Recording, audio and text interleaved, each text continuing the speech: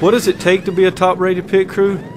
Your 40 hour work week, you can go ahead and throw it in the garbage. Five Hour Energy is part of the team because it helps keep us going. You can do a five-hour shot and be good to go for the whole race. Coffee just doesn't cut it. There are a few teams that do go after the five hour energy inside the truck. We try to keep them away. You know, it give they see the edge that it gives us, and they want the same thing. This is going to war. Five Hour Energy. What's driving you?